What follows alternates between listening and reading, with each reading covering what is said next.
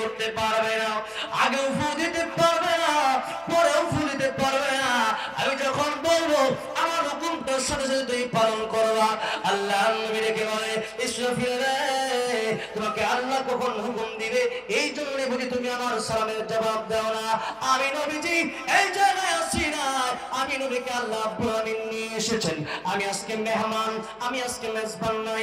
এবার আল্লাহ ডেকে বলেন, হে ইমানদারেরা ইমানদারকে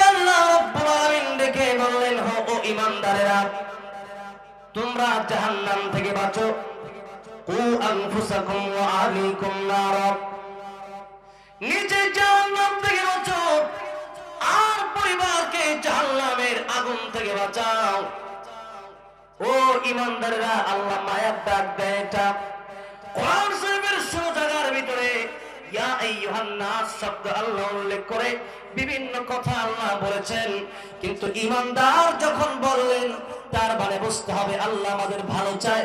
আল্লাহ চায় তার জান্নাতে যাক।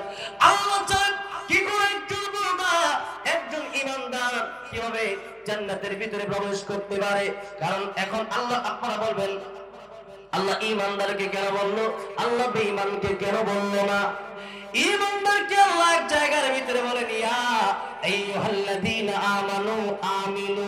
হে ইমানদার তুমি ইমান আনো সুবহানাল্লাহ। এখন আল্লাহ ইমানদারকে কেন বললেন? দাওয়াতের তাবলীগের লোকেরা যখন নাকি মানুষকে দাওয়াত দিতে যায়, অনেক সময় অনেকজন কয়, আমাদেরকে দাওয়াত দিতে আসছেন কেন? আপনাকে হিন্দু খুঁজে পান না? আপনাকে খ্রিস্টান? ইহুদি, নাসারা খুঁজে পান না? আমাদেরকে দাওয়াত দিতে আসছেন কেন? আমরা তুমি লা ইলাহা ইল্লাল্লাহ পড়ছি, তবেই জান্নাতে চলে যাব। না রে মাওলানা যেখানে আল্লাহ রব্বুল আলামিন বলছেন, হে ইমানদাররা ঈমান আনো। তাহলে বোঝা গেল ইমানদার সবাই নামে হলেই কাজে ইমানদার হওয়া যায় না। কথা ঠিক না বেটি ও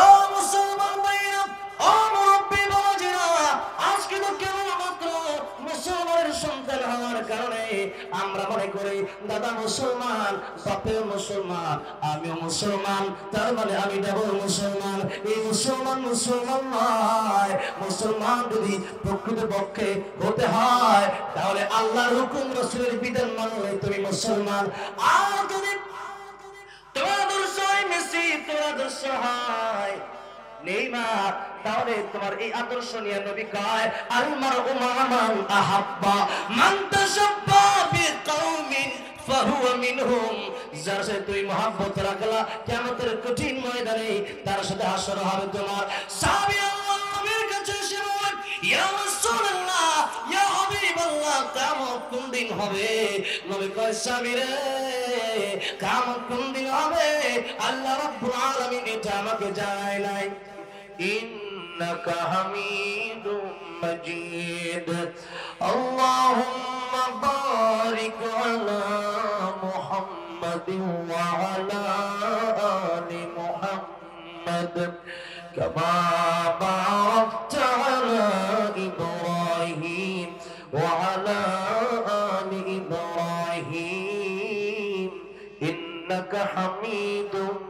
مجید نور عرفان محبت دن میں برو۔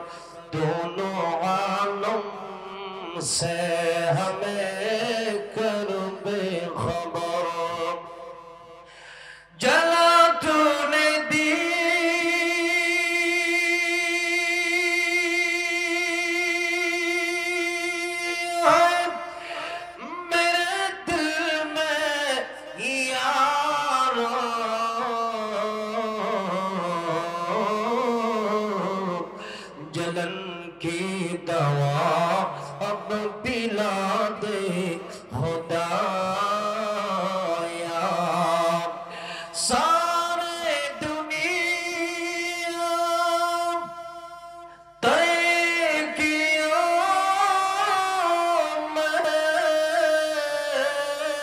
Yeah.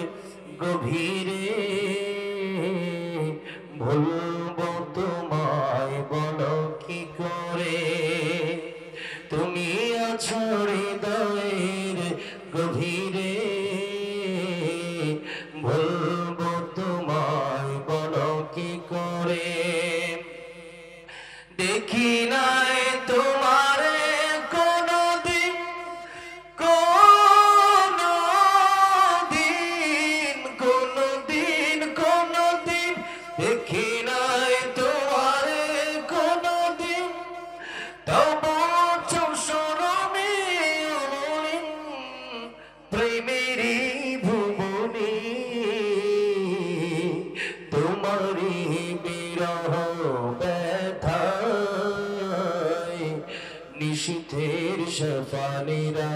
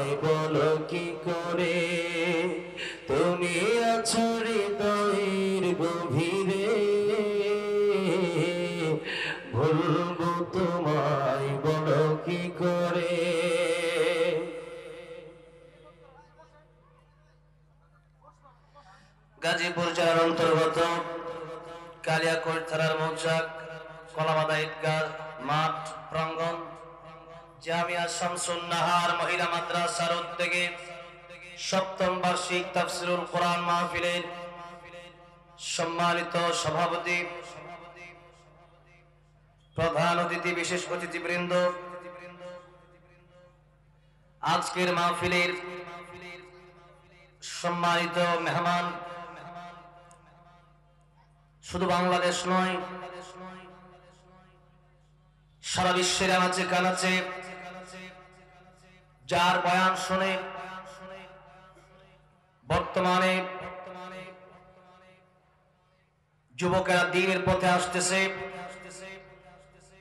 জিনার বয়ান কোরআন হাদিসের পিউর বয়ান জিনা। জিনার বয়ানের ভিতরে কোনো ঝামেলা নাই। বয়ানের ভিতরে ঝামেলাও থাকে। অনেক বক্তা আছে তাদের বয়ানের শুধু ঝামেলাই থাকে।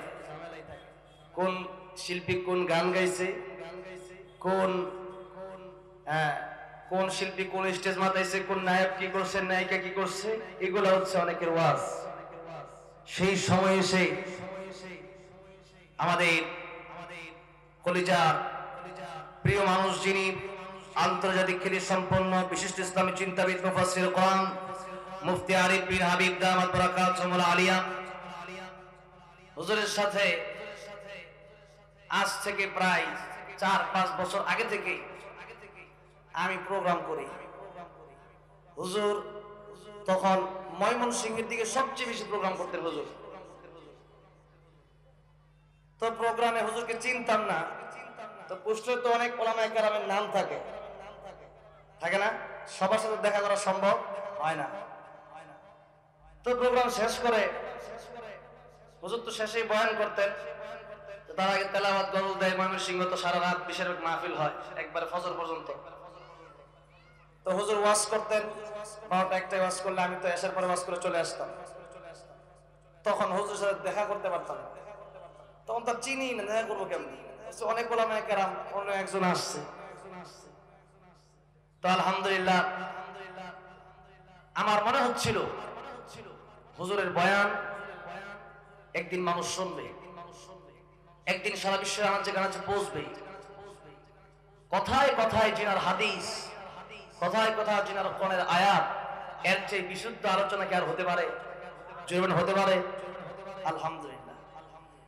এমন একজন ব্যক্তি আমরা পেয়েছি। উনি যখন আলোচনা করে, তখন মানুষ এতটুকু বুঝতে পারে যে মাওলানা মুফতি আরিফ বিন হাবিব দামাত বারাকাতুহুম হুজুর যদি আলোচনা করে, কিছু হলেও বাড়িতে নিয়ে যাওয়া সম্ভব, যেরকম ঠিক ওয়াজ করলাম, কিছুই বাড়িতে নিয়ে যেতে পারলাম না। এক কানে শুনলাম আরেক কানে বের করলাম। এই ওয়াজ আরিফ বিন হাবিব সাহেব করে উনি যখন বয়ান করে, আপনি যদি ইচ্ছা করেন যে এক কান দিয়ে শুনব, আরেক কান দিয়ে বের করব, তারপরে আপনি পারবেন না। কারণ যখন আল্লাহর কোরআন যখন পড়া হয়, আল্লাহ বলেন, তখন মুমিনরা আল্লাহর কোরআনের দিকে মুমিনদের হৃদয় আকর্ষণ হয় কি হয় না? হয়। নবীর হাদিস যখন মাহফিলে পড়া হয় তখন একটা মানুষের হৃদয় অটোমেটিকলি আল্লাহ পাক তার দিকে ঘুরায় দেয়, সুবহানাল্লাহ। উনি আসতেছেন। আপনারা এখনও রাস্তাঘাটে এত মানুষ তারপরে তো কিছু মেয়ে লোকের দেখলাম পর্দা নাই। একটা মেয়ে লোক যেন রাস্তায় ঘুরতে না পারে, এরকম ব্যবস্থা আপনারা করেন আমি মাগরিবের পর ওয়াজ করছি, সেখানে গোলাম রব্বানি সাহেব প্রধান বক্তা, এই যে চান্দরা মাগরিব পরে বলেন, সেখানে তো পুরা পুরা মাহফিল ভরা ছিল। আর আপনারা অর্ধেক লোক দাঁড়ায় রয়েছেন, তাহলে এটা কি হলো? গোলাম রব্বানি সাহেব মাহফিলে এত লোক আসলো মাগরিবের পরে, আমি গেলাম। আর এখন যে সবাই দাঁড়ায় থাকেন, এটা হলো আরেকদিন হাবিব সাহেব হুজুর আইসা কীরকম দেখে কষ্ট পাবে না? এই জন্য কেউ দাঁড়া থাকবে না। এখন দাঁড়ায় থাকতে বল, না থাকতে বললে অনেকে চলে যাবেন, চলে যান, কোনো আপত্তি নেই। কিন্তু এখানে এসে বসেন যেহেতু এত জায়গা ফাঁকা গাজীপুরে কত পোস্টার লাগাইছে, কত কষ্ট করছে, মাইকিং করছে, এত বড় একটা প্যান্ডেল করছে আপনাদের জন্য। আপনাদের দাঁড়াই বসবেন, তাহলে প্যান্ডেল করার কোনো দরকার ছিল না। মমতার যেরকম গান গায় প্যান্ডেলে বাইরে থাকে তামসা দেখা যায়। এটা কি তামসা দেখার জায়গা? এখানে শুনতে হবে, বসতে হবে দিনের কান দিয়ে শুনতে হবে কিছু কথা। এখানে আসছেন তামসা দেখার জন্য, আমার চেহারা দেখার জন্য। আমাকে ইউটিউবে সবাই চিনেন যারা আছেন। এখন আসেন, সবাই ভিতরে চলে আসেন, কেউ দাঁড়িয়ে থাকবেন না ইনশাল্লাহ ফাঁকা জায়গা পূরণ করেন, রাস্তায় যারা দাঁড়া আছেন, সবাই চলে আসেন। আসুন, আজকের মাহফিলে এত সুন্দর একটি বাগানে আল্লাহ পাক আমাদেরকে আশার বসার তৌফিক দিয়েছেন সেই জন্য হৃদয়ের আবেগ, অনুভূতি উজাড় করে দিয়ে প্রাণ খুলে আল্লাহ পাকের আলিশানের শুক্র আদায় করি, আল্লাহ পাককে খুশি করার জন্য ইমানের আওয়াজ দিয়ে সকলেই বলি, আলহামদুলিল্লাহ। পবিত্র কোরআনুল করিমের 6 নম্বর আপনাদের করেছি। আল্লাহ আমাদেরকে সুসংবাদ দিয়েছেন, ছোট্ট একটা কাজ কেউ যদি করতে পারে তার জন্য জান্নাতের সুসংবাদ দিয়েছেন। এরকম একটা হাদিস আপনাদের সামনে পেশ করেছি। এবার আসেন, আগে কোরআনের আয়াতে যাই, এরপরে হাদিসে যাব ইনশাআল্লাহ। আল্লাহ পাক বলেন, ইয়া আইয়ুহাল্লাযীনা আমানু, কু আনফুসাকুম ওয়া আহলিকুম নারা। আল্লাহ রাব্বুল আলামিন বলেন, হে ইমানদারেরা, হে ইমানদার দুনিয়াতে বহু দ্বার আছে। চৌকিদার আছে, তালুকদার আছে, দফাদার আছে। যত দাঁড়ে থাকুক না কেন দার মানে হচ্ছে ওয়ালা। দার মানে কি? ওয়ালা, এটা একটি ফার্সি শব্দ। ইমানদার ফার্সি শব্দ। এটার অর্থ হচ্ছে যেমন বাড়িওয়ালা, গাড়িওয়ালা, টাকাওয়ালা, পয়সাওয়ালা, এরকম এদেরকে ওয়ালা বলা হয়। বিভিন্ন বংশের নাম তালুকদার, দফাদার, চৌকিদার। এই যে বংশের নাম। তো এখন আছেন দুনিয়াতে অনেকেই টাকা, টাকার মালিক, টাকাওয়ালা আছেন টাকা তো যারা খেলোয়াড়, তাদেরও আছে। যারা নায়ক, তাদেরও আছে। টাকা তো হিন্দু, খ্রিস্টান, বৌদ্ধ সবার আছে। বরং নবী বলেন দুনিয়া সিজনুল মুমিন ও জান্নাতুল কাফির। মুমিনের জন্য দুনিয়া জেলখানা কি? জেলখানা। আর কাফিরের জন্য বালাখানা। আল্লাহ বলেন, যদি এমনটা আশঙ্কা না হতো যে মুসলমান ইমানদারেরা তারা শঙ্কায় পড়ে যাবে। তাহলে আমি, যারা অমুসলিম কাফের যেহেতু তারা দুনিয়া পাবে আঘাত কোনোদিন পাবে না। এই জন্য তাদেরকে আমি এমন দরজা, এমন জানালা, এমন সিঁড়ি, এই সবগুলো আমি আল্লাহ সোনা বানায় দিতাম। সোনা বানায় দিতাম। কিন্তু আমাদের ইমান যেই দুর্বল, চায়ের দোকানে বসলে এক কাপ চায়ের জন্য আমরা ইমান বিক্রি করে ফেলি। কথা ঠিক না ঠিক এক কাপ চা খাই, চার বিল উনি দিবে। দশজন চা খাই, ধরলাম একজন বিল দিয়ে দিবে। এখন উনি যেটা বলে সবাই তার পক্ষে চায়ের দোকানে কথা বলে। যদি বলে, অমুক হুজুর খারাপ? বলে হ্যাঁ হ্যাঁ ঠিকই বলছো। অমুক হুজুর খারাপ, অমুক হুজুর এইটা করছে, অমুক হুজুর সেইটা করছে। বোঝা যায় সে আলাদা সে কি? আলাদুরি নামাজ পড়ে না এক অক্ত নামাজ পড়ে না এক অক্ত বোঝা যায় সে আল্লাহর অলি সে যেভাবে সমালোচনা করতেছে। যারা করে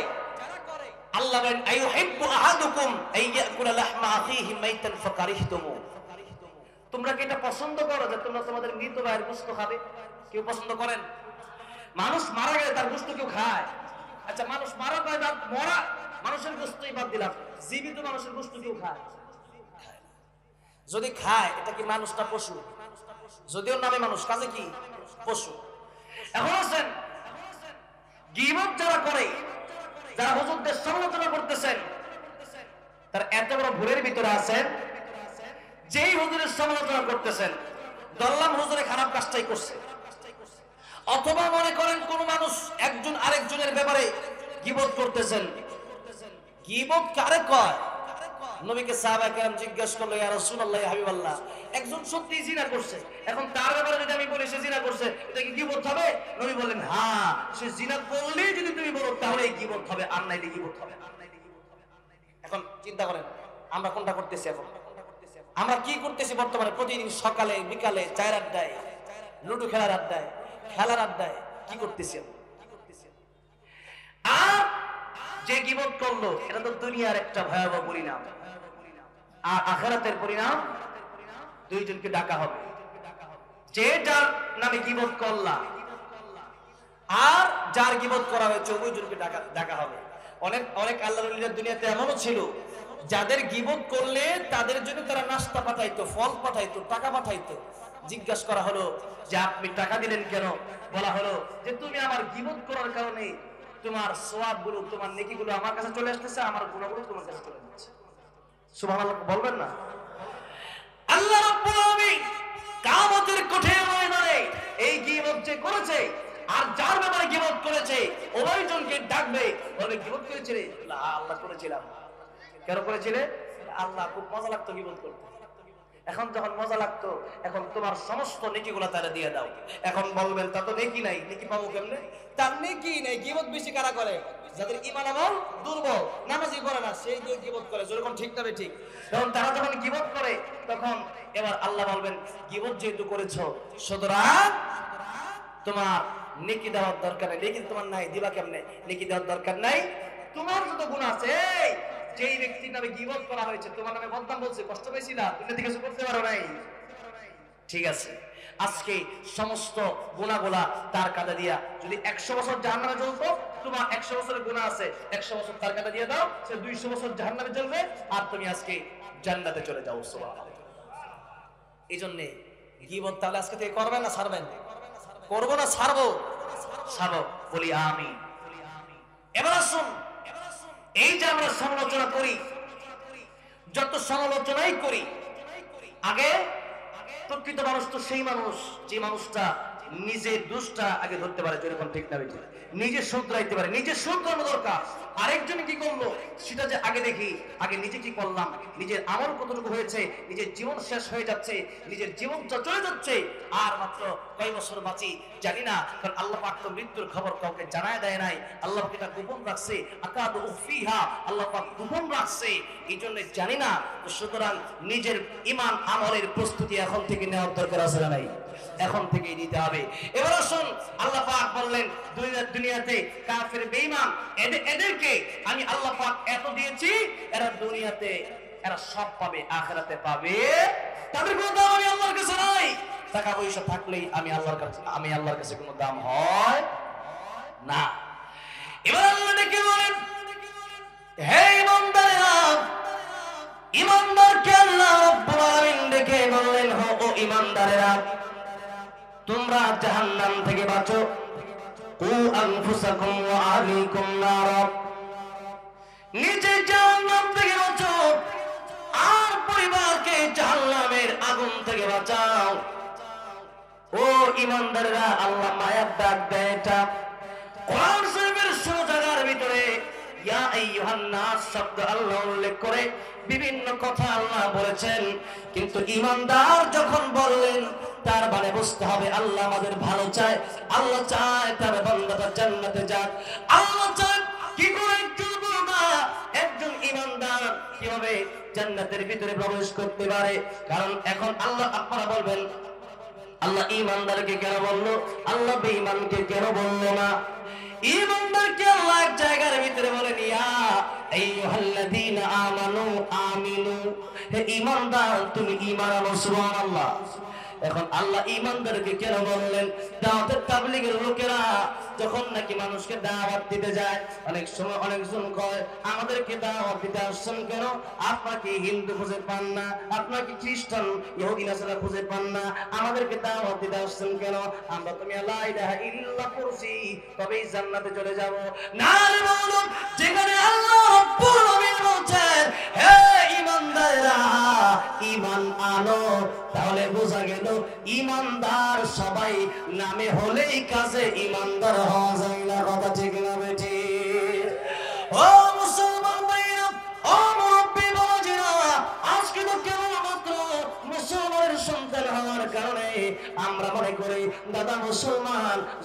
মুসলমান আমিও মুসলমান, তার মানে আমি ডাবল মুসলমান। এই মুসলমান মুসলমান নয়।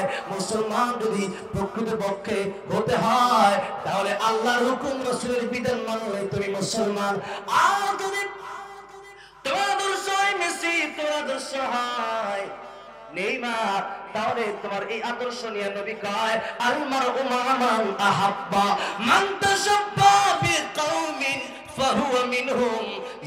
তুই মহব্বত রাখলা, কিয়ামতের কঠিন ময়দানে তার সাথে হাসর হবে তোমার। সাহাবী আল্লাহ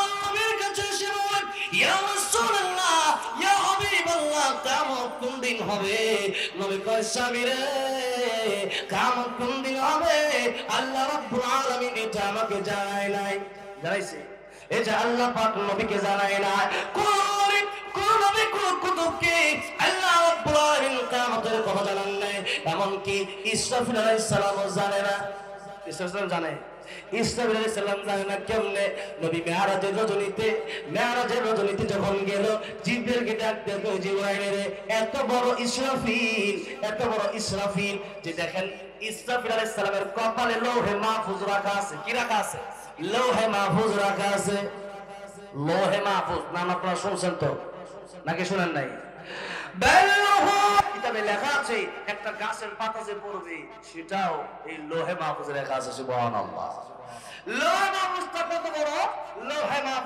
পৃথিবী যত বড়, এরকম পৃথিবীর মতো বড় একটা প্লেট লোহে মাহফুজ তাহলে পৃথিবীর মতো বড় প্লেট লোহে মাহফুজ আল্লাহ পাক রাখছে কার কপালে? ইসরাফিল আলাইহিস কপালে। ইসরাফিল আলাইহিস সালামের কপালে কেন রাখলেন? এর কারণ হলো আল্লাহ তো জিবরাইল আলাইহিস সালামের কপালে রাখলেই সুবিধাজীন সুবিধাজীন না নবীর কাছে জিবরাইল আলাইহিস সালাম ডাইরেক্ট কপালতে নিয়ে দিয়ে দিত জোরে বলছে ঠিক না ঠিক কিন্তু আল্লাহ দিলেন ইসরাফিল আলাইহিস সালামকে কেন দিলেন আল্লাহ কোরআনে বলে وإذ قلنا للملائكة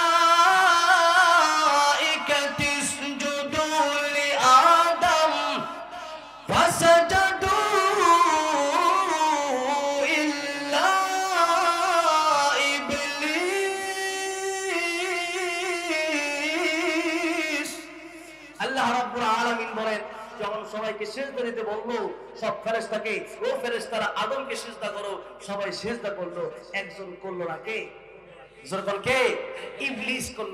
এখন ইমাম সাহেব যখন যায় অনেক মুরব্বীরা আছে, এরা মাজা ব্যথা ব্যথা এই জন্য মাজা ব্যথা, কোমর ব্যথার কারণে ইমাম সাহেব এক সেজদাতে উঠতে উঠতে দেখবেন মুরব্বী মাত্র সেজদায় যায় না? আবার এমনও কিছু আছে একবার ছোট পোলা পাইন যেগুলা ইমাম সাহেব শেষ সেজদায় গেছে। মানে আল্লাহ আকবার বলতে সেজদা যাইতে একবার ইমাম সাহেবের আগে সেজদায় চলে যায়। সেরকম ঠিক না। বেঠিক? এমন কি নাই? এমন আছে। মাঝে মধ্যেই আমি যখন বিমানবন্দরে এবং বিভিন্ন সিএনজি পাম্পে তো নামাজের জায়গা করা থাকে, আমি গেলে নামাজের টাইমে সিএনজি পাম্পে দ্বারা নামাজটা পড়ে নেই, অথবা বিমানবন্দরে গেলে বিমানে ওঠার আগে নামাজটা পড়ে নেই। তো গেলে তো আমার আমার মাথা যখন পাকড়ি হয়, তো দেখে সিনে তখন আমাকে বলে যে নামাজটা আপনি পড়ান। তো নামাজ পড়ানোর সময় আমি তো মাঝে মধ্যে একজন দুইজন থাকে সিএনজি পাম্পে। একজন, দুইজন। তো ওনার যখন আসে, আমি সেজদা থেকে উঠে আরেক সেজদায় যাব। এর আগেই উনি সেজদায় যায়। যখন ঠিক না? নামাজ হবে? ইমাম সাহেব কোনো স্মরণ করতেছেন, ইমামের আগে গেলে আপনি তো নামাজের, আপনি ইমামের ইমাম হয়ে গেলেন। যখন ঠিক না ঠিক? এই জন্য এইভাবে নামাজ হবে না। এবার আসুন অনেকে আগে গেলেও হবে না, পরে গেলেও সমস্যা। মধ্যম পন্থা অবলম্বন করতে হবে। কি পন্থা? মধ্যম পন্থা। এবার আসুন আল্লাহ নবী, এবার আসুন, সেই ইসরাফিল আলাইহিস সালামকে এবং সমস্ত ফেরেশতাকে আল্লাহ যখন বলেছিলেন, ফেরেশতারা তোমরা সিজদা দাও, সবাই সিজদা দিয়েছিল। সবার আগে যিনি সিজদায় পড়ে গিয়েছিলেন ওই হলেন ইসরাফিল আলাইহিস সালাম। সুবহানাল্লাহ, বাড়ি থেকে গেলেন না, পকেটে করে করে সুবহানাল্লাহ, রয়ে যান, বাড়ি থেকে গিয়ে। সুবহানাল্লাহ, জোরে গান আল্লাহ ইসরাফিল, আমি খুশি হয়ে গেলাম। আর এই খুশি হওয়ার কারণে তোমার দিগ্গুর মাঝখানে যে জায়গা আছে, এখানে আমি আমার লোহে মাহফুজ, যেখানে কোরআন সংরক্ষিত, সেই লোহে মাহফুজটা রেখে দিলাম। এত আলাইহিস সালামের লাভটা কি হয়েছে? ইসরাফিল আলাইহিস সালামের এখানে লোহে মাহফুজ রাখা, আল্লাহ পাক প্রতিদিন 360 বার লোহে মাহফুজের দিকে ওনার রহমতি, কুদরতি নজর দেয়। রহমতি নজর 360 বার কোরআনের দিকে পড়লে, লোহে মাহফুজের দিকে পড়লে, ইসরাফিল আলাইহিস সালামের চেহারার দিকে নজরটা পড়ে কি পড়ে না? লাভ হয়েছে না ক্ষতি হয়েছে? সুবহানাল্লাহ। আল্লাহ নবী, বিশ্ব নবী রাহমাতুল বলেন, জিবরাইলের এত বড় ফেরেশতা উনি কি ইসরাফিল বলে? হ্যাঁ উনি ইসরাফিল, উনি সিংহায় দিবে আল্লাহ নবী বিশ্ব নবী আমিন বলেন, আসসালামু আলাইকা ইয়া ইসরাফিল। ইসরাফিল আলাইহিস সালাম সালামের জবাব দেয় না। আবার বলে, আসসালামু আলাইকা ইয়া ইসরাফিল। সালামের জবাব দেয় না। নবী এবার আবার সালাম দিলেন। কয়বার দিলেন? তিনবার। আমাদের দেশে দেখবেন অনেকে সালাম দিলে। হুজুর মাদ্রাসা হুজুর বাজার করতেছে, তরি তরকারি কিনতেছে, একজন আসসালাম আলাইকুম। হুজুর তো তরকারি কিনা দান্দায় ব্যস্ত। এই জন্য দেখবেন সালাম দেয় না। হুজুর, আপনার সালাম দিছি তো। হুজুর বল, ঠিক না বেঠিক হুজুর, আপনার সালাম দিছি। এটা নিয়ম না। নবী শিক্ষা দিয়েছেন, একবার সালাম দাও। জবাব দেয় নাই, তুমি আবার বলবা, আসসালামু আলাইকুম। জবাব দেয় নাই, আবার বলবা, আসসালামু আলাইকুম। সালাম দিছি তো এটা আসসালামু আলাইকুম। আপনি তিনবার দিলে সাহাবি কয়, নবী, তা আমি যদি তিনবার দেয় আমি কি তিনবারের নেকি পাবো? নবী কয়, তুমি যতবার দিবা, ততবারের নেকি তুমি পাইবা, সুবহানাল্লাহ। আজকে সালাম আসেনি আমাদের দেশে? নাই। কিয়ামতের একটা আলামত হলো, সালাম দিবে পরিচিত লোক দেখে, কি দেখে? পরিচিত, সালাম কি শুধু পরিচিত লোক লোককে দেওয়ার জন্য কি বলছে? সালাম দিতে হবে পরিচিত, অপরিচিত, ছোট, বড়, স্বামী স্ত্রীকে, স্ত্রী স্বামীকে, বাবা ছেলেকে, ছেলে বাবাকে, মা মেয়েকে, মেয়ে মাকে, সবাই সবাইকে জোরে করে ঠিক না হিন্দুকে দেখলে হিন্দুকে দেখলে কি করবে? হ্যাঁ সালাম। শরদীয় শুভেচ্ছা। কি দেয়? শুভেচ্ছা। আপনি মুসলমান হইয়া তাদেরকে শুভেচ্ছা জানান। আমরা লজ্জা আছে? জোরে ঠিক না বেটি? ধর্ম যাচার উৎসব সভা। ঠিক না বেটি আপনি গরু কুরবানির দিন করেন যে আমার গরু কুরবানি তাই কোন ঠিক না বেটি বিয়া করে বউ হিন্দুরে দিয়া লাই জোরে কোন ঠিক না না, বউ যার যার বিয়ে- যার যার বউ তো সবার। এটা দিবে না। মানে যে না, সুবিধাবাদ, জিন্দাবাদ। কি? সুবিধাবাদ, জিন্দাবাদ। এই হলো আমাদের দেশের অবস্থা। হিন্দুকে দেখলে বলবে, আসসালামু আলা মানিত্তাবা আল হুদা। কি বলবেন আসসালামু আলা মানিত্তাবা আল হুদা। সূরা তাহার আল্লাহ শিক্ষা দিয়েছেন। এটা বলবে। কেন? তাদের হেদায়েতের জন্য আমাদের দোয়া করার দরকার আছে না নাই? আছে না নাই? আছে। ইয়া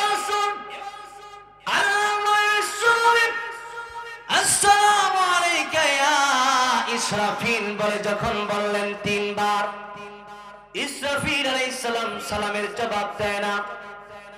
ইসরাফিল আলাইহিস সালাম তো নবীর চাইতে বড় হতে পারে না, কারণ নবী হলেন সৃষ্টির শ্রেষ্ঠ। কি? সৃষ্টির শ্রেষ্ঠ। অনেকে কয় নবী শ্রেষ্ঠ না, কোরআন শ্রেষ্ঠ। নবী হলেন মাখলুক। নবী কি? নবী মাখলুক? আর কোরআন মাখলুক নয়। কোরআন কার কালাম? কার বাণী? আল্লাহর বাণী, এটা মাখলুক নয়। কোরআন আল্লাহর কালাম কোরআন শ্রেষ্ঠ, নবীও শ্রেষ্ঠ। কোরআন আল্লাহর কালাম আর নবী হচ্ছেন মাখলুকের ভিতরে যত সৃষ্টি আছে, সৃষ্টির ভিতরে নবী হলেন শ্রেষ্ঠ, সুবহানাল্লাহ। এই যে নবী মাখলুকের ভিতরে শ্রেষ্ঠ। নবী আর কোরআনকে আলাদাভাবে ডিসকার্ড করার কথা কে বলছে? নবী মাখলুক, কোরআন গাইরে মাখলুক। বলেন নবী কি? মাখলুক আর কোরআন গাইরে মাখলুক। ফেরেশতা কি? ফেরেশতা কি? মাখলুক। তাহলে ইসরাফিল আলাইহিস সালামের দাম বেশি নবীর দাম বেশি এখানে এসে। এখানে অবশ্যই নবীর দাম বেশি। কারণ নবী হচ্ছেন এক কথায় সৃষ্টির শ্রেষ্ঠ আল্লাহর পরে যার মর্যাদা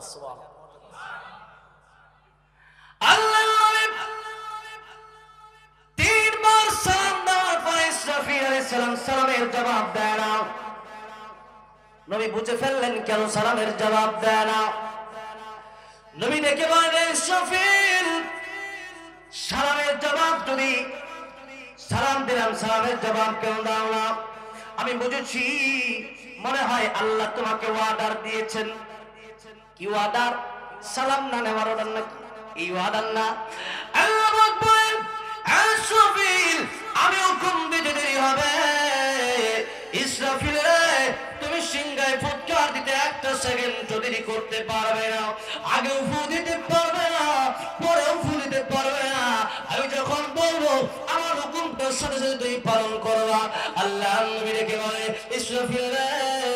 তোমাকে আল্লাহ কখন হুকুম দিবে?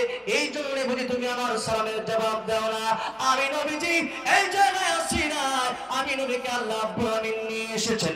আমি আজকে মেহমান, আমি আজকে মেজবান নয়। আমি আজকে মেহমান কি? নবী কি? মেহমান আর মেজবান কি? মেজবান যদি বাড়িতে আসে, তাহলে মেজবানটা কি রাগ দেখায় নাকি? রাগ দেখালে কি ভালো ভালো মানুষ? তার তার চরিত্র খারাপ। মেহমান যদি বাড়িতে আসে, স্ত্রীর সাথে রাগ মনে করেন নুন কম নুন বেশি হয়ে গেছে, লবণ। লবণ বেশি হয়ে গেছে। অথবা মনে করেন লাউটা সিদ্ধ হয়নি ভালো করে। মেহমান খায়া শান্তি পেতেছে না। ভাই, ভালো লাগতেছে না। তখন দেখবেন তখন দেখবেন পর্দার উপর থেকে স্বামী স্ত্রীর আটটা দেয়া করে। খবর আছে, মেহমান গেল। ঠিক না ঠিক আর ঠিক না এখন আল্লাহ নবী কই ইসরাফি আমি আজকে আসছি এখানে, আমাকে আল্লাহ দাওয়াত করে আনছেন। এখন কেমন কায়াম করবে, তোমার সিংহায় ফুৎকার দিতে বলবে। এটা তুমি চিন্তা করো না, সিংহায় ফুৎকার দিতে এখন আল্লাহ বলবে না সুবহান আল্লাহ ইসরাফিল আলাইহিস সালাম আল্লাহর নবীর সালামের জবাব দেয় ওয়া আলাইকুম আসসালাম ইয়া রাসূলুল্লাহ, ইয়া হাবিবাল্লাহ। আল্লাহর নবী গো, আপনি তিনবার সালাম দিয়েছেন। ও নবীজি প্রথম সালাম আমি শুনেছি, কিন্তু জবাব দেই নাই কেন? আপনি যেই কথা বলেছেন, সেটাই হলো আমার কথা। আল্লাহ রাব্বুল আমিন আমাকে বলেছেন আমি হুকুম দেব। আমার হুকুমের সাথে সাথে তুমি সিংহায় ফুটকার দিবে একটা সেকেন্ডেরও দেরি না হয়। আমি যদি আপনার সালামের জবাব আর এই সময় যদি আল্লাহ আমার এবং ইসরাফিলের সিংহায় ফো দাও। তাহলে জবাব দিতে গিয়া আমি ইসরাফিলের সিংহায় ফুটকার দিতে পারব না। এই জন্য আমি এতক্ষণ আপনার সালামের জবাব দিই নাই। সুবহানাল্লাহ। আল্লাহর হুকুম আগে যেরকম ঠিক না ঠিক। এই জন্য ইসলামকে নবী আপনার সালামের জবাব দিতে যে যদি আল্লাহর হুকুমটা অমান্য হয়ে যায়, তাহলে তো আল্লাহ বরদাস্ত করবে না। তো আল্লাহ নবী কয় তুমিও তাহলে জানো না যে কখন ফু দেওয়া লাগবে? ইসলাম নবী, আমিও জানি না কখন ফু দেওয়া লাগবে। সুবহানাল্লাহ। ইসরাফিল আলাইহিস সালামও জানে না। এক হাদিস আছে জিবরাইল আলাইহিস সালাম, মেশকাত প্রথম যে হাদিস, হাদিসে জিবরাইল জিবরাইল আলাইহিস সালাম আইসা জিজ্ঞেস করল আনিল ইসলাম আনিল নবীজি, ই- সম্পর্কে বলেন নবীজি জবাব দেয় অবাক হয়ে বলল, উনি করে, আবার উনি উনি জিজ্ঞাসা করে, আবার উনি সত্য বলেছেন, তার মানে উনি জানে। যখন ঠিক না বেঠিক। অনেকে আমাদের সমাজে দেখবেন মানে আটকানোর জন্য প্রশ্ন করে, এমন কিছু লোক আছে না নাই? আছে। আটকানোর জন্য প্রশ্ন করে হারাম আটকানোর জন্য প্রশ্ন করে কি? হারাম? মানে আপনি তাকে বেদ যদি করার জন্য প্রশ্ন করেছেন। আপনি হারাম কাজ করলেন। একটা মানুষ অন্তরে কষ্ট দিলেন। এর মানে নবী বলেন, ও কাবা! এই কাবার চাইতে এক একটা মানুষের কলবের দাম আল্লাহর কাছে অনেক বেশি, আল্লাহ একটা মানুষের কলবের এত দাম, একটা মানুষের দাম কাবা শরীফের চাইতে বেশি, সুবহানাল্লাহ। সেই মানুষ, এখন সেই মানুষের মসজিদ আপনি কষ্ট দেন? কাবা শরীফ ভাঙলে যা করলেন, এর চেয়ে বেশি কষ্ট দিলেন একটা মানুষকে কষ্ট দেওয়ার কারণে এর চেয়ে বেশি গুণা আপনি করলেন। এই গুণা আপনি তার কাছে মাফ না চাওয়া পর্যন্ত আল্লাহ ক্ষমা করবে। বান্দার হক আল্লাহ মাফ করবে। আমাদের সমাজে বান্দার হক তো আজকে যা করে করে নামাজে পরে বোনের হক, বোন- বোনের জমি, তিন কাঠা জমি, তুমি দুই কাঠা পাইবা, বোনের এক কাঠা, এইটা সহ নিয়ে যায়। ঠিক দেবে ঠিক বোনের এক তোর দুই লাখ দিয়ে দিলাম, যা। বোন মাজলুম হইল, কি হইল? জোরে কি হইল? অনেকে তো নিছেন। নেন নাই অনেকেই? অনেকেই নিছেন। কারা কারা নিছেন দেখি? কেউ নেন নাই, সব আলার উনি বসে আছে সব আলার উনি ওয়াজ মাহফিল দরকার বোনের হক যারা খাইছেন, দিয়ে দিবেন। কি করবেন? যদি না দেন, আজকে এখানে বলে গেলাম, আপনি জান্নাতের আশা করে খবরে চলে যান, জাহান্নামের চিন্তা করে খবর মনে রাখবেন কথাটা। আমার ভাইয়া প্রশ্ন করে জিজ্ঞাসা করে। নবী কি জিজ্ঞাসা জবাব দেয়, তার মানে মানে জানে। জানার পরেও প্রশ্ন করে কে আসছিল জাননি?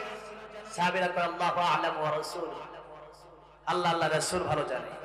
আল্লাহ আন্নাই বলেন তোমাদেরকে দ্বীন শেখানোর জন্য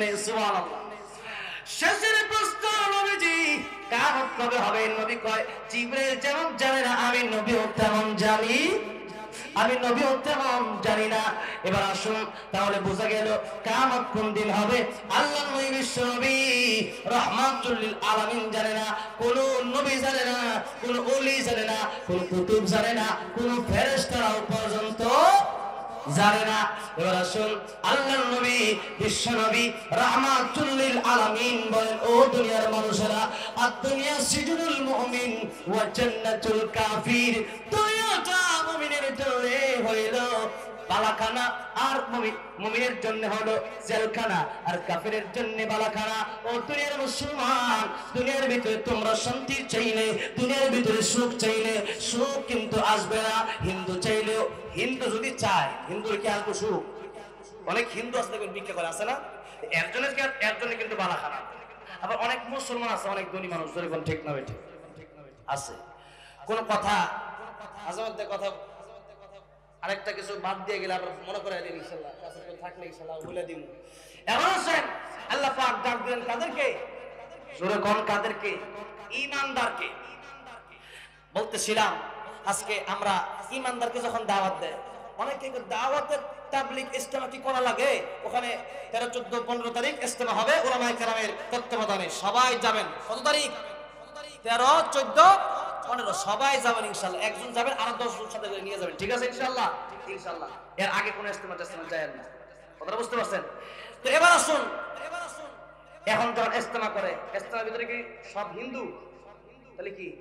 মুসলমান? জিজ্ঞেস করে, মুসলমানকে আরেক মুসলমানের বক্তব্য শোনানো লাগে। ও হুজুররা মাহফিল করে একটা মুসলমান সব জানে মুসলমানকে দাওয়াত দেওয়া লাগে। আরে আল্লাহ দাওয়াত দিছে, আল্লাহ বলেন, ইয়া আইয়ুহাল্লাযীনা আমানু আমিন। কে দাওয়াত দিছে?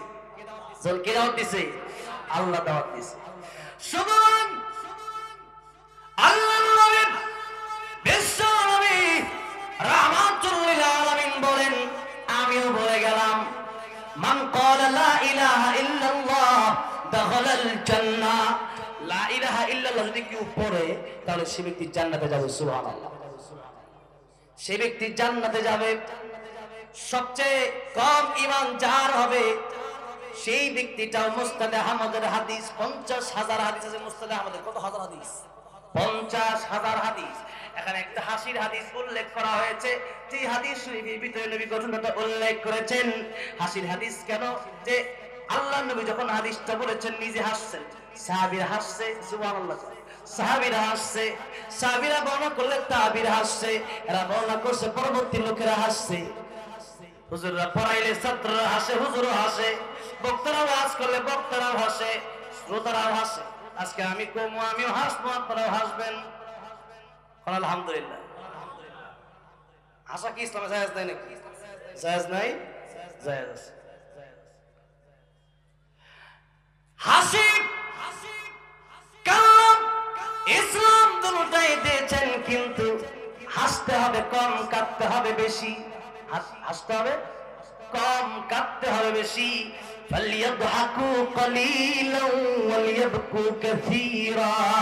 বেশি হাসলে মরে যায়। কি মরে মরে যায়। বেশি হাসা যাবে না। চোখের পানিকে বেশি করে আল্লাহ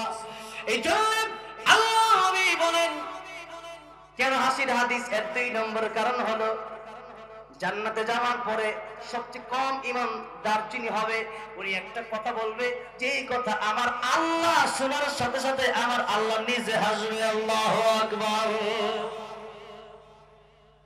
জাহান নামের ভিতরে দেওয়া হলে জাহান নামে জ্বলতে জ্বলতে সর্বশেষে তিনি জান্নাতে যাবে। আল্লাহকে জাহান্নামের ভিতর থেকে ডেকে বলে, প্রভু জাহান্নামের ভিতরে জ্বলতে চলতে আঙ্গার হয়ে গেছি, কয়লা হয়ে গেছি। তোমার কি আমার জন্য দয়া লাগে না? আল্লাহ দয়া মায়া কম না বেশি। যেরকম কম না বেশি। আল্লাহ, আল্লাহকে জিজ্ঞেস করে, আল্লাহ, আমার জন্য কি তোমার দয়া মায়া লাগে না? আল্লাহ কয় হওয়ার আগে আল্লাহ, আমি একটা আবদার তোমার কাছে করব। জান নামে তো অনেক দিন অনেক বছর চলছি একটা আবদার তুমি কেন পূরণ করতে পারো? আল্লাহ পাক ডেকে বলে, বান্দারে, কি আবদার তোর আমার কাছে বল? বান্দারে কে বলবে, প্রভু, আমি এখন যে আবদার করব আবদারটা হলো জাহান্নাম থেকে আমাকে, মাঝখান থেকে আমার জাহান্নামের কিনারায় নিয়ে যাও। আল্লাহ বলেন, একটা আবদার করতে পারবি, দ্বিতীয়বার কোনো আবদার চলবে না। এক থেকে বলে, প্রভু এখন আমি থেকে জাহান্নামে জাহান্নামের মাঝখান থেকে জাহান্নামের কিনারায় যেতে চাই। আল্লাহ বলেন ঠিক আছে তোরে দিলাম। এখন একটু পরে বান্দা আবার গেছে আবার ডাক দিয়ে আল্লাহ আবার আমি আরেকটা আবদার করতে চাই। আল্লাহ কে বলছে বান্দা তোর ছিল তুই একটা আবদার করবি দ্বিতীয়বার আবদার করতে পারবি না। আল্লাহ গো, এটা আমার শেষ আবদার। আল্লাহ কিন্তু জানে আরও তার আবদার আছে যেরকম ঠিক না ঠিক? আল্লাহকে রেখে বলে, আল্লাহ, জান্নাতে আমি যেতে চাই না, আর গেলে কবে যাব তাও জানি না। আল্লাহ জাহান্নামের মাঝখানে তুমি আমার একটা জায়গায় দাও, একটা জায়গায় ব্যবস্থা করে দাও। আল্লাহ দিলেন কিন্তু আল্লাহর ইচ্ছা তাকে জান্নাত দিবে। কি দিবে? জান্নাত দিবে। এই যে তার মুখ তার জবান দিয়ে কথাটা বের করছে। কিন্তু সেই লোকটা বলে, আমি জান্নাতে যাব। বলে। এখন বাচ্চা না কানলে মা দুধ দেয়। যখন দুধ দেয়।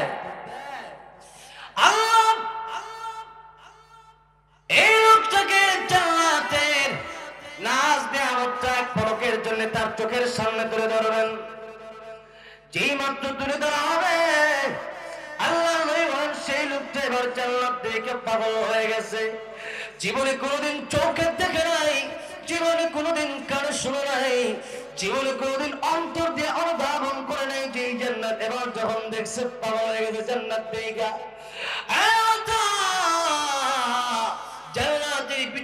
আমাকে একটু যাওয়ার সুযোগ দেওয়া যায়। আল্লাহ বলেন, তুমি না বললা আর কোনো আবদার করবা না। এখন যে আবদার করেছ, এই আবদার আমি আল্লাহ কেমনে রাখি? আল্লাহ এই আবদার আমার শেষ আবদার। আর জান্নাতে যে আমি যাব, আবার বের হয়ে আসব। এখন এই লোকটা জান্নাতের ভিতরে যাওয়ার জন্য পারমিশন চাইলে আল্লাহ রাব্বুল আমিন তাকে জান্নাতে যাওয়ার জন্য পারমিশন দিবেন। ওই জান্নাতে যাবে, যাওয়ার পরে এবার এই লোক আর বের হয় না, সুবহানাল্লাহ কও। এই লোক যখন বের হয় না, আল্লাহ দেখে বলে, বান্দা রে, তুই বের হস না কেন? হস না কেন? আল্লাহ আমি বের হইলে একটা ঝামেলা আছে। আছে? আমি বের হইলে একটা ঝামেলা। আল্লাহ কি ঝামেলা? আল্লাহ, আমি ওয়াদা কত ওয়াদা ভঙ্গ করলাম। আল্লাহ, তুমি কি তুমি কি কোনোদিন ওয়াদা ভঙ্গ করেছ? আল্লাহ আমি তো কোনোদিন ওয়াদা ভঙ্গ করি নাই। আল্লাহর চেয়ে সত্যবাদী আর কেউ আছে নাকি? আর কেউ নাই। আল্লাহ আমি তো কোনোদিন ওয়াদা ভঙ্গ করি নাই।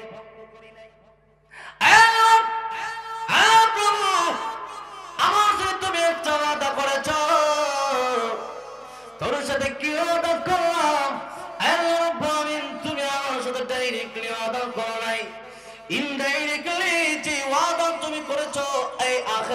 দুনিয়াতে একটা ওয়াদা করেছিলে।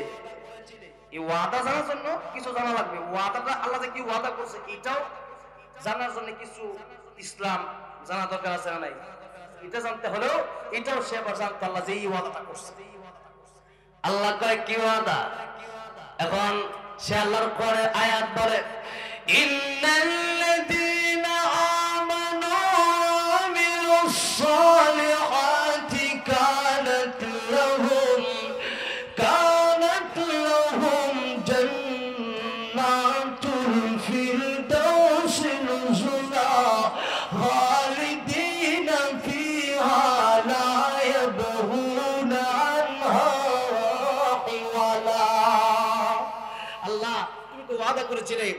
যারা নাকি দুনিয়ায় ইমানদার হবে আর নেকামল করবে, এদেরকে জান্নাত দিবে। আর বলেছিল খালিদিনা ফিহা লা ইয়াবগুনা আনহা হিওয়ালা। জান্নাতে আসলে তারাও বের হতে চাইবে না। আর আমি আল্লাহ জান্নাত কোনোদিন বের করে দিব না, সুবহানাল্লাহ। হ্যাঁ ব্রাদার জান্নাত থেকে যদি এখন আমি বের হয়ে যাই, তাহলে তো তোমার ওয়াদা ভঙ্গ হবে। আর যদি আমি যদি এখন বের হয়ে যাই আমার ওয়াদা ঠিক থাকবে, তোমার ওয়াদা ভঙ্গ হবে। আর যদি আমি বের না হই, আর যদি আমার ওয়াদা ঠিক রাখতে যাই, তোমার ওয়াদা ঠিক থাকবে না। এক কথায়, আমার ওয়াদা থাকলে তোমার ওয়াদা থাকবে না, আর তোমার ওয়াদা থাকলে আমার ওয়াদা থাকবে না। আল্লাহ, এবার এবার বলো, তোমার ওয়াদা তুমি রাখবা না, আমি আমারটা রাখব। সুবহানাল্লাহ। রে বান্দা আজকে এই জান্নাতের ভিতরে আমিও তোরে প্রবেশ করেছি বের করার জন্য আমি আল্লাহ রাব্বুল আমিন তোরে প্রবেশ করাইছি। এই যে দুনিয়া, দুনিয়ার চাইতে দশ গুণ বড় একটা জান্নাত, এই মুহূর্তে তোর জন্য আমি আল্লাহ ওয়াকফ করে দিলাম। জান্নাত দিয়ে দিবে। সবচেয়ে কম ইমান যার থাকবে। এবার বুঝেন ইমান ইমানদারের দাম কম না বেশি? যেরকম কম না বেশি? মনে করেন গাজী মনে করেন গাজীপুরে কারও কাছে একটা ডায়মন্ড থাকে সেই ডায়মন্ডটার কারণে সেই ডায়মন্ডের কারণে এই ডায়মন্ড এই ডায়মন্ড দিয়ে আপনি পুরো গাজীপুর জেলাটা কিনতে পারবেন। এই ডায়মন্ডটা মনে করেন এই ডায়মন্ড নিয়ে নিরাপদে থাকতে পারবেন? নিরাপদে থাকতে পারবেন? এই ডায়মন্ড নেওয়ার জন্য আপনার স্ত্রী আপনাকে খুনও করতে পারে যেরকম ঠিক। এই ডায়মন্ড নেওয়ার জন্য আপনার ভাই আপনার মাঝে যেরকম ঠিক না ঠিক। এই ডায়মন্ড নেওয়ার জন্য আপনার পরিবারের লোকের, লোকদের কাছ থেকে আপনি লুকায় রাখবেন কেন? যে কোনো সময় এরকম একটা আক্রমণ হতে পারে পুরো গাজীপুর জেলা কেনা যাবে। যেরকম ঠিক না বেঠিক এক কোটি, দুই কোটি টাকা হইলে এর উপরে যে তল্লাশি চালায় আর যে ট্যাক্স বসায় দেয়, এই অবস্থা যদি হয়, এখন ডায়মন্ড যদি পুরো গাজীপুর কিনা যায়, তাহলে এই ডায়মন্ড নেওয়ার জন্য সুর আছে না নাই? ডাকাত আছে না নাই? সব আছে যখন ঠিক না বেঠিক ঠিক ইমানদার যে ব্যক্তি হবে এই ব্যক্তির ইমান নিয়ে চিরবিনে খেলার জন্য কাদিয়ানি আছে ভণ্ড পীর আছে, নাস্তিকেরা আছে, কাফিরের বাচ্চারা আছে, এরা আমাদেরকে চতুর্দিকে দিয়ে হামলা করবে। আমরা জীবন দিব, ইমান দিতে পারি না, ঠিক না বেঠে। আমার ভাইরা, ইমান হচ্ছে এত দামি একটা সম্পদ। যেই সম্পদ দিয়ে দশ দুনিয়ার চাইতে আরও বড় জান্নাত পাওয়া যাবে, সেই ইমান যদি বলে, চা খাও, ইমান বাদ দিয়ে দাও, দিবেন। মেসি যদি বলে, আমার আমার মতো তুমিও খ্রিস্টান হয়ে যাও, আমার জন্য তুমি পাগল হইয়া মেসি আমার জান প্রাণ বলো, ইমান ফালায় দাও, ইমান ফালাবেন, ইমান ফেলে দিবেন। আমার ভাইরা, যেই ডায়মন্ডের জন্য আপনি সবকিছু করতে পারেন, তাহলে ডায়মন্ড যে ইমাম যে ইমাম দিয়ে যে ইমাম নামক ডায়মন্ড দিয়ে আপনি জান্নাত কিনতে পারবেন, সেই জান্নাত কেনার জন্য সেই যে ডায়মন্ড আপনার কাছে আছে, যদি সেই ডায়মন্ড যেই ডায়মন্ডটা গাজীপুর কিনা যায়, সেই ডায়মন্ডের উপরে হামলা হতে পারে, তাহলে কি ইমানের উপর হামলা হবে না? হবে। কিন্তু এর উপর টিকে থাকতে হবে। ইমান আনা সহজ, কিন্তু টিকে থাকা কঠিন। কথা কোন ঠিক না ঠিক? এই জন্য ইমান আনো, ভালো করে ইমান আনো। এখন আমরা তো ইমানদার, নবীর হাদিস অনুযায়ী যাব। কিন্তু জাহান্নামের জন্য এরপরে যদি যেতে হয়, এটা মজা নাকি ডাইরেক্ট কবরে গেলে, এরপরে গেলে মজা? যেরকম ডাইরেক্ট কবরে যাওয়ার সাথে সাথে, আল কবর মিন জান্নাহ আও মিন হুফারিন নার। কবরটা যদি জান্নাতের বাগান হয়ে যায়, তাহলেই তো আমাদের শান্তি ঠিক না আর যদি কবর জাহান্নামের হয়ে যায়। সাহাবী উসমান রাদিয়াল্লাহু আনহু কেন উসমান উসমান কবর প্রথম সুতরাং এই প্রথম গাটিতে আমার দিকে বড় ভয় হয় যদি জাহান্নাম কবর নির্ধারিত হয়, তাহলে তার কবর থেকেই জাহান্নাম নির্ধারিত হবে। আল্লাহ পাক নিজে বাঁচো পরিবারকে বাঁচাও। আয়াতের ব্যাখ্যা অনেক লম্বা। এবার আসুন শুধু এতটুকু বলি। সমস্ত একমত যে জাহান্নাম থেকে বাঁচার পদ্ধতি হলো নিজে দিন শিখা আর নিজের সন্তানগুলোকে, নিজের পরিবারকে দিন শিখানো। তাহলে জাহান্নাম থেকে বাঁচা সম্ভব, জান্নাতে যাওয়া সম্ভব। আসুন। একবারে শেষ, আমার টাইম শেষ। আমি আবার সালনামা আরও মাহফিল আছে চৌরস্তা আছে সালনা আছে। আর দুই তিনটা মাহফিল আছে। তো এবার আসেন, আপনাদেরকে একটা গজল শোনানোর জন্য বলছে, এর আগে একটা কথা বলতে চাই। যারা, যাদের মেয়ে আছে, যেহেতু মহিলা মাদ্রাসা আল্লাহ নবী বলেন, তোমরা নিজেরা বাঁচো পরিবারকে বাঁচাও। পরিবারের মধ্যে মেয়ে আছে না নাই? তাহলে মেয়েদেরকে শুধু স্কুলে দিলে হবে? আপনার তিনটা মাইয়া একটা মাদ্রাসা